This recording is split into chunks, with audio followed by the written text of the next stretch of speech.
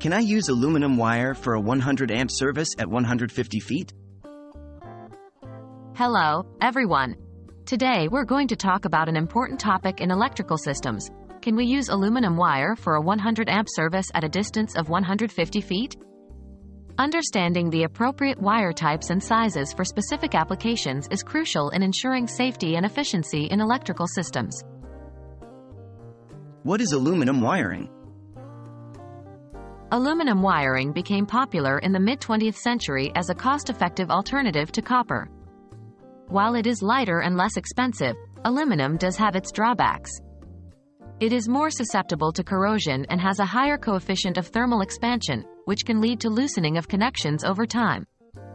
However, modern aluminum alloys have mitigated some of these issues and it's widely used in high-capacity power transmission. What wire size do I need for a 100 amp service?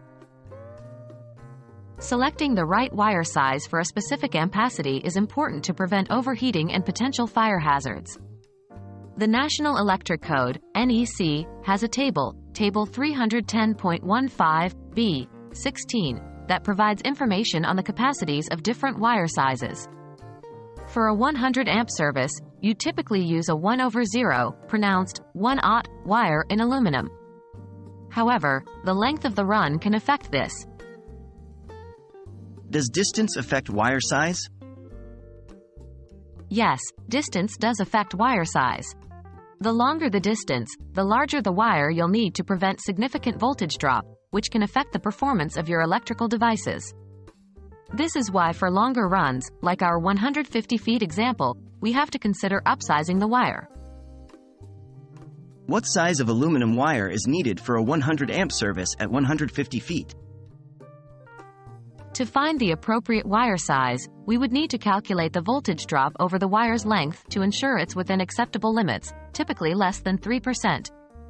For 100 amps over 150 feet, a 2 over 0 aluminum wire should be adequate to maintain proper voltage. So, yes, you can indeed use aluminum wire for a 100 amp service at 150 feet, but you'll want to use 2 over 0 wire to accommodate for voltage drop over that distance. Remember, every electrical installation should comply with local codes and regulations, and any work should be performed by a qualified electrician. We hope this discussion has been helpful, and as always, stay safe.